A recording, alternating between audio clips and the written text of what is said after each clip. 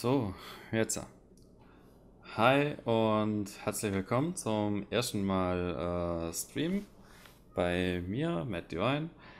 Und ja, ich zeichne das natürlich jetzt auch auf äh, für YouTube, also dass man, falls jetzt irgendjemand das verpassen sollte, wird er nachher dann auf YouTube äh, sehen. Ja, okay. Ich habe gedacht, okay, für den ersten Stream, was nehmen wir da? Ja, World of Warships geht meistens relativ flott und für den Anfang und Einstieg können wir das ja nehmen. So. Dann gucken wir doch mal. Also ich habe schon ein paar Schiffe freigespielt. Aber fangen wir doch mal mit dem kleinsten Schiff an.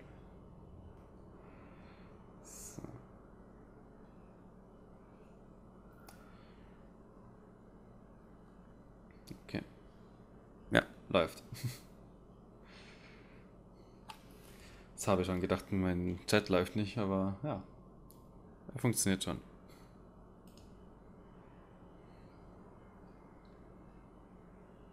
Hm, ich glaube, ihr habt den Spielsound ein bisschen zu leise. Kann das sein? Drehen wir ein bisschen hoch.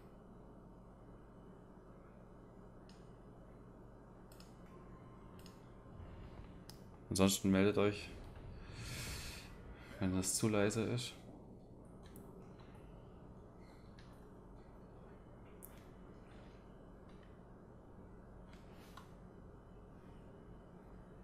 Hm, ja, doch noch ein bisschen zu tick zu leise.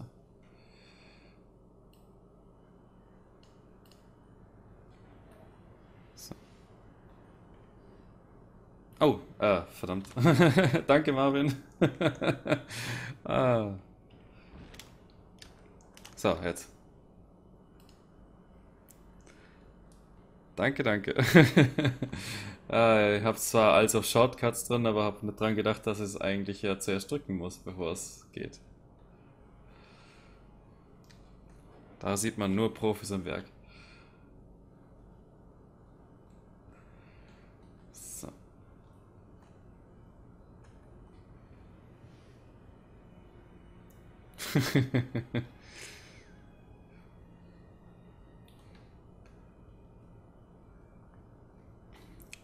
also durch das, dass ich jetzt endlich zwei Monitore habe, habe ich es echt sehr fein zum da einmal nach rechts kurz gucken, dass ich den Chat in Auge behalte. Und deswegen auch zum Beispiel Marvins Tipp gerade gesehen habe. Und falls ihr ihn noch nicht kennt, ähm, Legendary Marvin macht sehr viele Strategie-Let's Plays, vor allem auch jetzt ähm, Europa Universalis. Ähm, falls euch das nichts sagt, einfach mal vorbeischauen, lohnt sich auf jeden Fall. So. Kurz Werbung gemacht.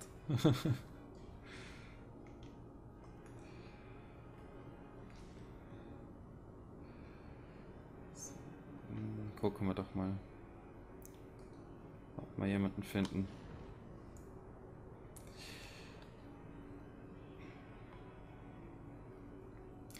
Okay, also momentan fahre ich einen kleinen Kreuzer. Es gibt, glaube ich, vier Klassen. Einmal die Schlachtschiffe, dann die Flugzeugträger und den Kreuzer und Zerstörer. Zerstörer sind sehr schnell, haben Torpedos an Bord und ja, Nebelkanister und so sind so die Support-Rollen. Ähm, okay, da sind sie. Kommen alle über das Eck.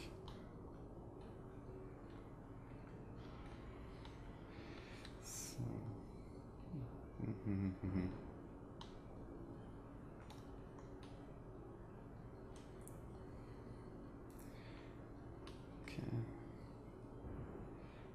Also in dem Fall fahre ich über F5 und versuche sie von hinten zu überraschen.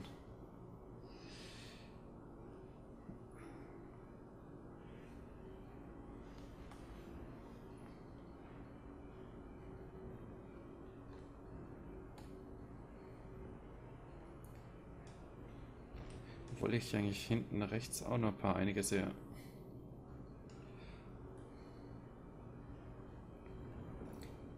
So, dann nehmen wir doch mal einen aufs Korn. Also ich verwende jetzt momentan Brandgeschosse für die kleineren... Kla okay, er weicht aus. Äh, die kleineren Klassen kann man relativ gut im Brand stecken. Und dann verlieren sie zum Teil die ganzen Module. Ein Treffer. so. Ah, doch nicht. So, ein bisschen vorzielen. Ah, gut.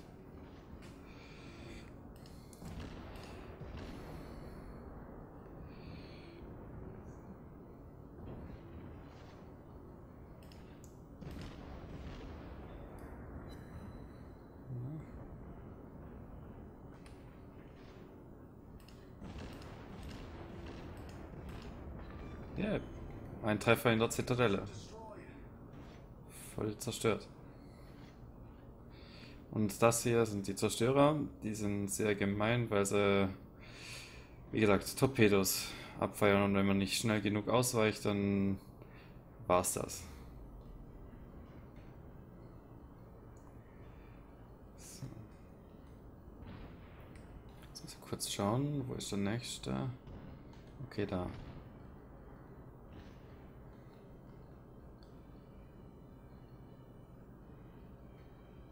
Aber wie gesagt, sie sind viel schneller, als ich hier jetzt äh, hinterherfahren könnte. Aber wie gesagt, vielleicht erwische ich ihn doch noch. Vor allem den hier.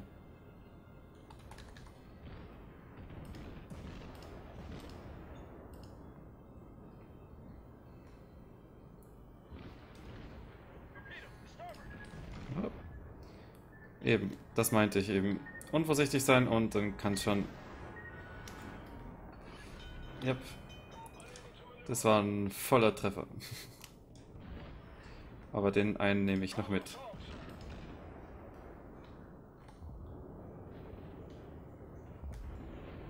Ah, hat denn schon jemand anders.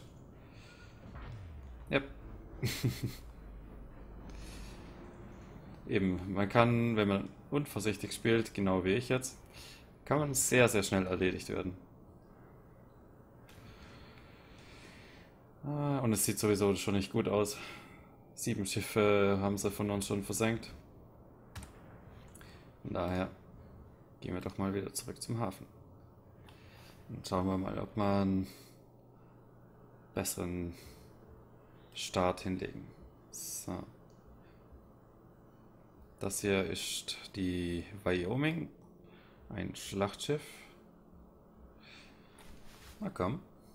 Lade. Lade. So. Okay, dann fahren wir doch mal mit dem Schlachtschiff.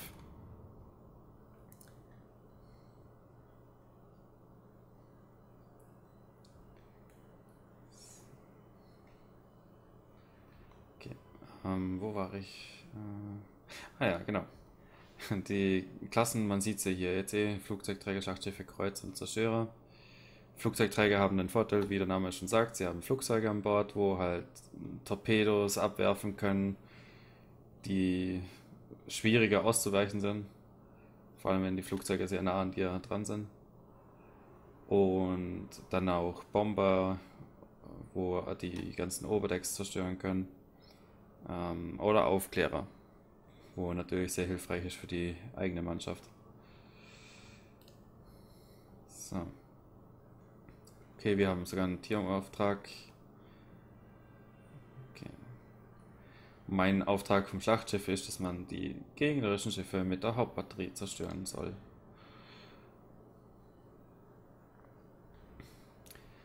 Natürlich ist es jetzt eine höhere Klasse, also werden natürlich jetzt nicht so schnell sein wie die kleineren. Und bei den Schlachtschiffen kann man ruhig äh, panzerbrechende Geschosse nehmen. Die sorgen sicher für mehr Wumms. Können aber halt dafür jetzt nichts in Brand stecken oder Module ausfallen lassen.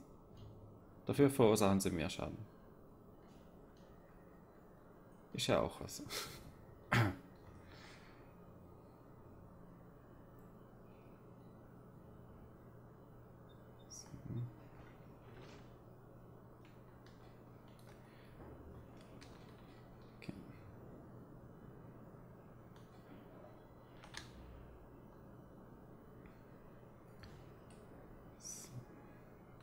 Jetzt fahr, fahr, fahr.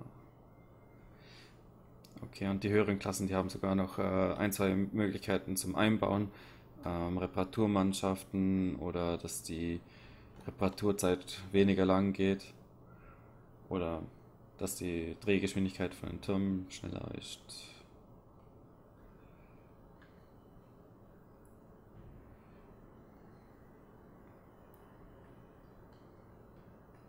So.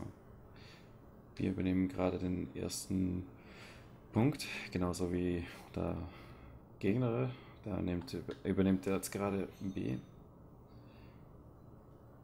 Und ich hoffe, dass einige von uns so schlau sind, dass äh, Richtung A düsen. Und okay, jetzt kriegen wir natürlich gleich Besuch.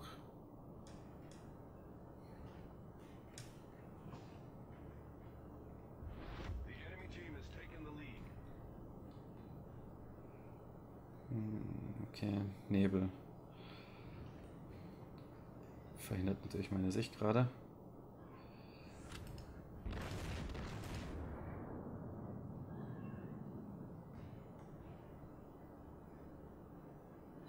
Okay, wenigstens ein Treffer.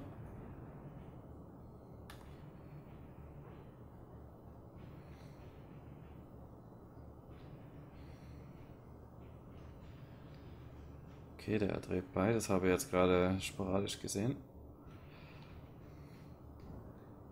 Okay, komm schon, komm schon.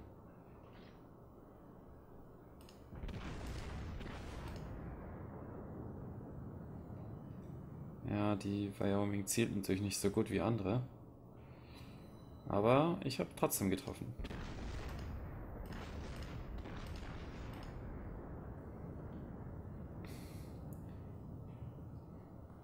Er dreht, habe die Möglichkeit, aber besser zu treffen.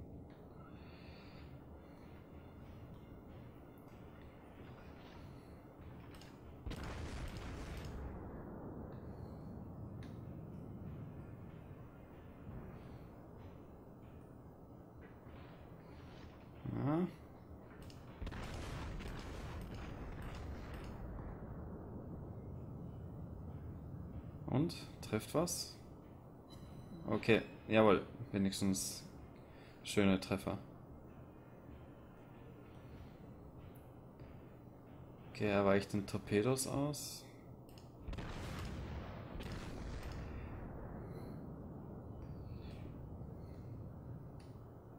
Und by the way, sollte irgendjemand einen anderen Spielevorschlag haben, wäre ich natürlich dankbar. Man kann natürlich da Okay, ist außerhalb von meiner Reichweite. Aber der hier nicht.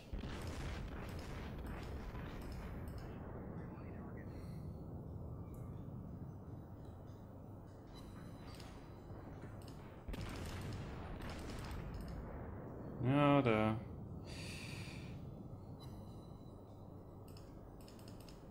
Okay, der ist hinüber. Okay, da kommt ein Torpedo auf meine Kollegen zu. Nächste erledigt.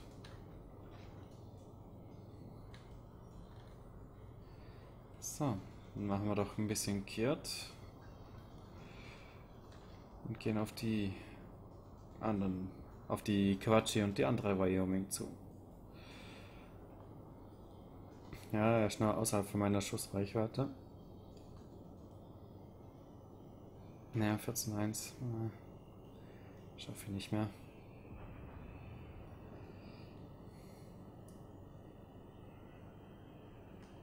Oder doch?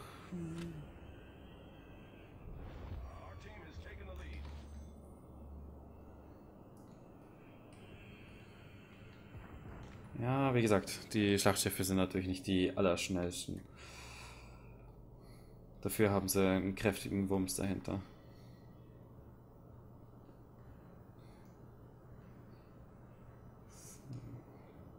Also es gibt momentan ähm, drei spielbare Nationen, äh, zwei reguläre und einen, wo man ein Premium oder zwei Premium-Schiffe kaufen kann.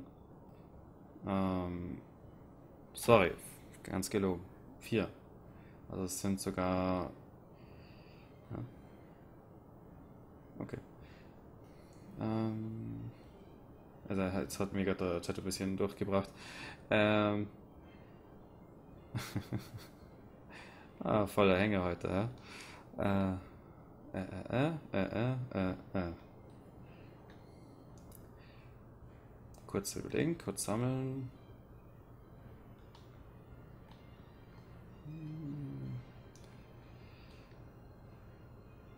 Ah ja, genau, spielbare Nation. Ah, roten Faden. Äh, nee, spielbare Nationen, also sind äh, Deutschland, äh, die Tierpits, also das ist momentan das Premium-Schiff. Dann sollen, also da spielt die Russland natürlich eine Rolle, aber auch momentan nur als Premium-Schiff. Und ähm, dann die Amerikaner und die Japaner. Die sind äh, sehr stark vertreten, aber ich hoffe natürlich jetzt, dass die deutsche Nation und die ähm, Sowjetunion natürlich noch was dazu kommt. Äh, die Japaner im Verhältnis zu den Amerikanern sehr schnell und wendig, dafür aber nicht so viel Kraft wie jetzt die Amerikaner mit den Kanonen. Also meiner Meinung nach. so. Hoffen wir, dass jetzt alle treffen. Oh, nice. Ja.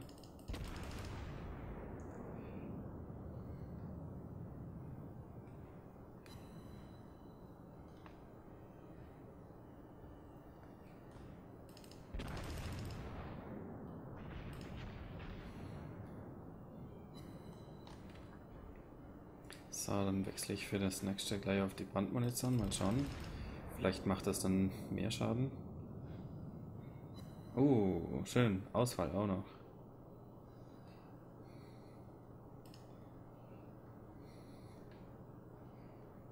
Ja, okay, da wird nicht mehr ausweichen können. Das heißt, ihn treffen jetzt alle Torpedos. Yep. Und das war's mit ihm. Und jetzt gehe ich natürlich wieder drehe.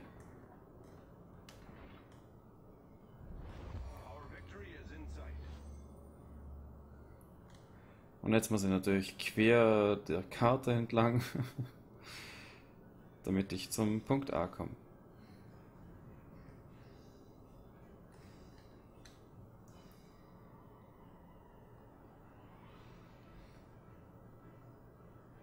Okay.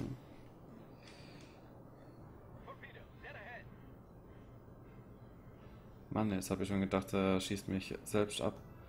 Weil ihr habt schon das erlebt, dass einige andere Spieler ähm, nur getrollt haben und dann auch mich und den Commander, den werdet ihr sicher auch vom Namen her wo wir kennen, ähm, ja, abgeschossen. Wir haben den mehrmals gewarnt und er ballert weiterhin auf uns. Ja, okay. Feuer frei.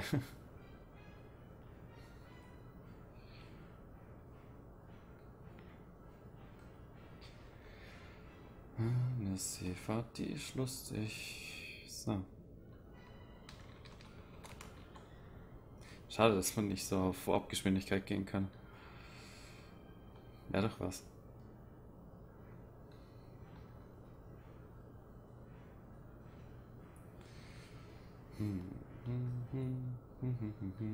Okay. In dem Fall kann ich schon mal, glaube ich, Good Game schreiben. Das eine Schiff Überlebenschance gleich null. Außerdem haben wir die Punkte auch gleich mal voll.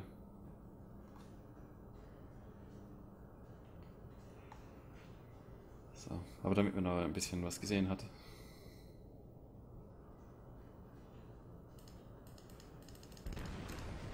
So.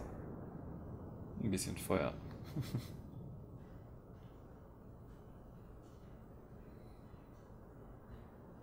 Na, nee, über die Gebirgskette kann ich jetzt leider nicht schießen.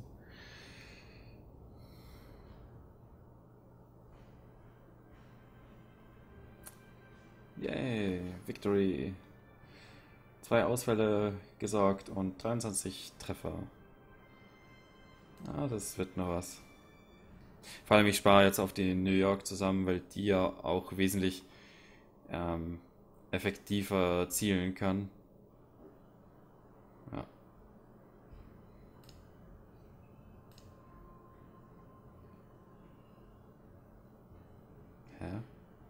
Oh, ich glaube, ich habe auf Kämpfe weitergemacht. Ah. Ups.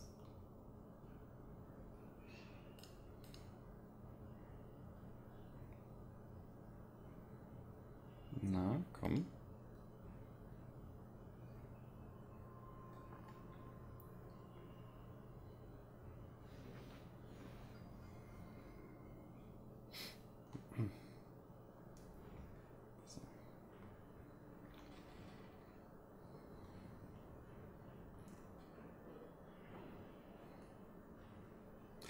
Ja, die Map 2 Brüder, die hat schon sehr viele äh, Nerven gekostet. Vor allem mittendrin, also hier, ist ein optimales äh, Grab für Schiffe. Allem, weil jeder müsste mal die ganzen Zerstörer hier reindüsen, Torpedos zu spammen und dann hast du natürlich keine Chance mehr zum Ausweichen.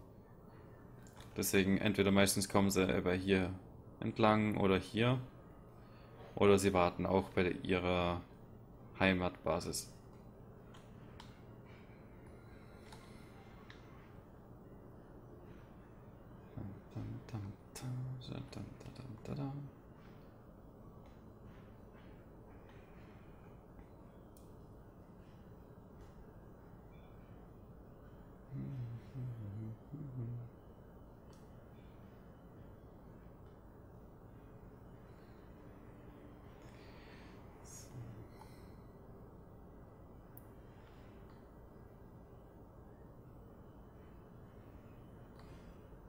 Okay.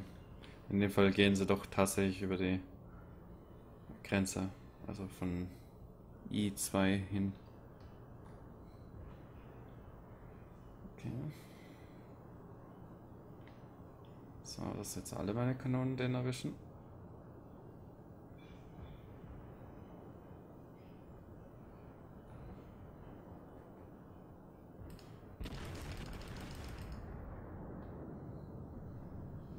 Na, das war jetzt ein Satz mit X, war wohl nix. Oh, ne Murmansk ist auch ein schönes Schiff. Das ist aber das russische Premium-Schiff. In Klasse 5 Zerstörer. Ne, warte, fünf, Klasse 5 äh, oder 4 äh, Kreuzer war das.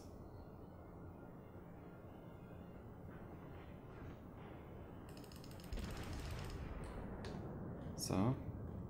Jetzt muss ich natürlich gleich beidrehen, weil die Flieger, was ihr jetzt seht, die schmeißen jetzt Torpedos.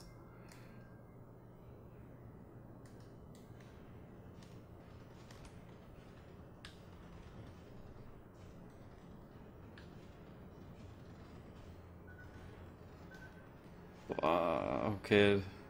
Fiese Nummer. Das wird echt fies. Einen kriege ich mindestens ab. Aber Gott sei Dank habe ich eine Reparaturmannschaft. Nee. Gerade noch der nächste. Ja, toll.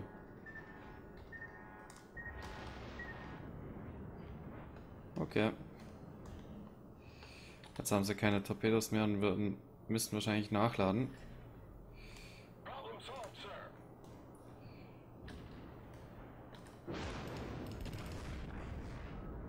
So. Den nehme ich mit.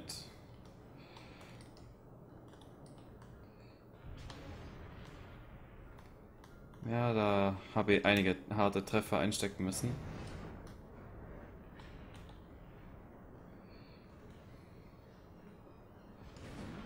Also alleine durch gutes Fahren kann man die halbwegs gut ausweichen. So.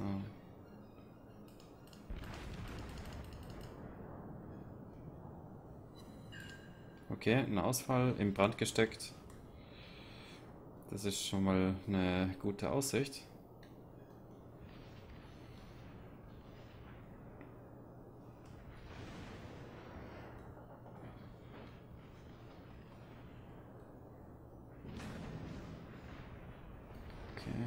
So, komm schon. Ladet schneller.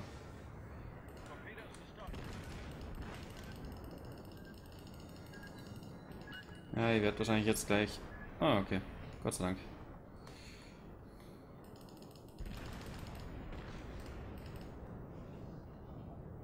Na, ein Ausfall. Naja.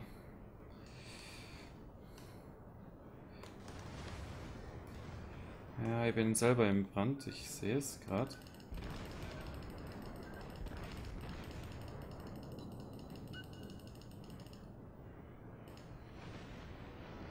So.